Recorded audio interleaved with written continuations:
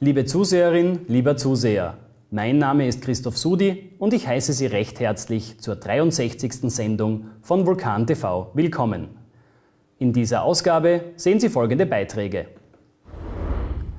Das Jubiläumsfest 10 Jahre Finks Delikatessen